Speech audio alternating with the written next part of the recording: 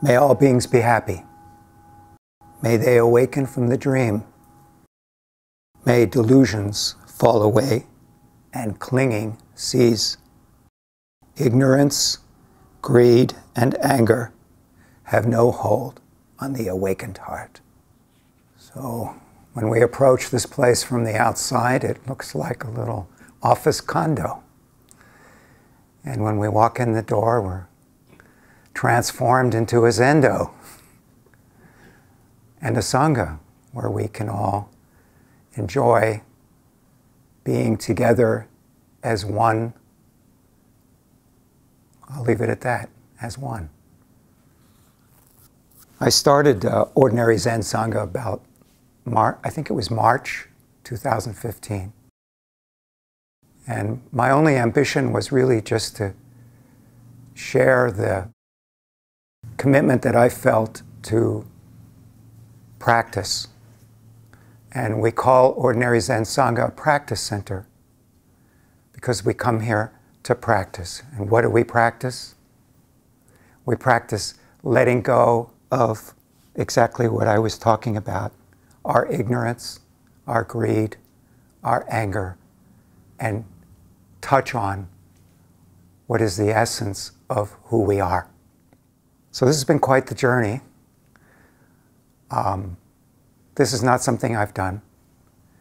This is something we've done, those of us who have been coming regularly, uh, and those who've just started coming, and those who are here tonight, are, are all part of this experience. And it's through your generosity that made this possible. So we are now here. Um, Charlene, my wife, you know, offered us this place when she's not using it. And uh, since then, about a month ago, we moved in. Uh, shortly after that, or maybe it was even be shortly before that, Jula approached me and said, Well, Chong An Sunim is coming to town. Maybe we could arrange for him to come and spend some time with you. And I said, Wonderful. And it was very auspicious for me because my primary uh, teacher, my root teacher, is also Korean. And although Chong An Sunim is not Korean, he's from Hungary, he spent many years in Korea and studied there. So I was very happy to hear that, and it all, all these things came together. So this place became available Chong An Sunim shows up. Boy, does he. and uh, I'm very glad and very grateful.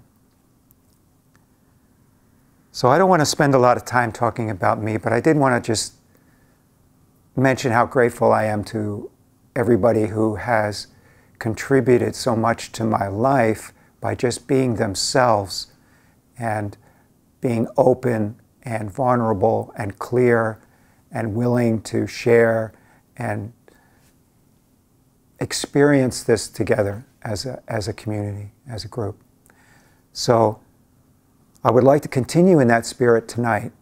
I think that the best way to proceed when we have a Zen master in the room is to ask him questions and ask him anything. Test him if you want.